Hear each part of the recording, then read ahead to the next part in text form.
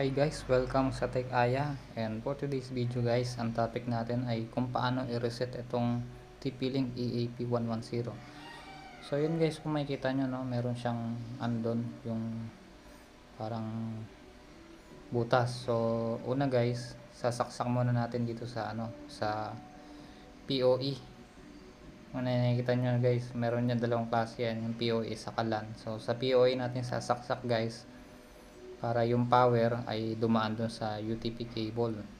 So ito naman, itong kabila ay dito natin isasaksak sa ilalim.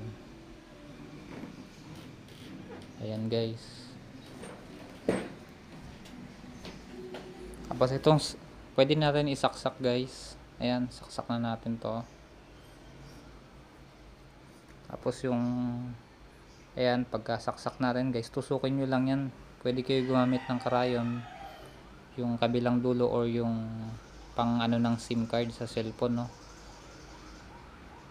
Yan, tusukin nyo lang yan guys. Tapos i-hold nyo lang guys no, wag wag tatanggalin. Pagkatusok nyo na ganyan, yan pansinin nyo yung ilaw guys no pag nag iba-iba yung kulay. Tapos pag bilang nag-green lang blinking, okay na 'yon. So wala nang gagalawin guys.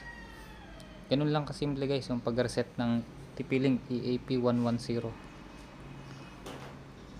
tapos sarado natin ng ano yan guys na balik natin sa dati. Ayan okay na. So tignan natin guys no kung na-reset nga siya talaga. So ayun guys resetted na no.